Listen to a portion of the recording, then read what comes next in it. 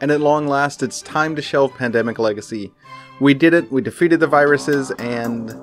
Ha ha ha. Now it's time to face a real virus. Hey, what's going on, Restoration Games?